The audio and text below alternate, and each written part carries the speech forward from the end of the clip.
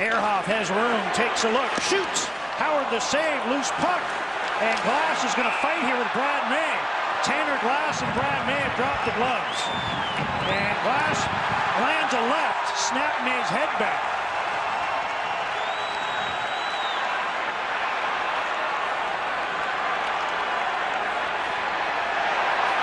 Oh. Now they're both throwing rights.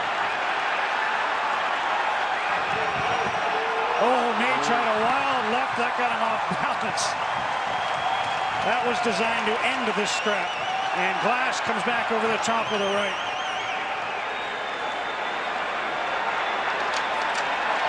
Well,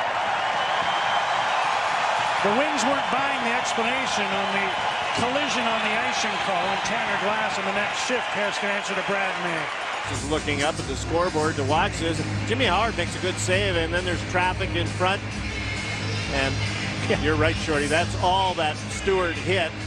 Brad May had a target. He was after Tanner Glass, and away they go.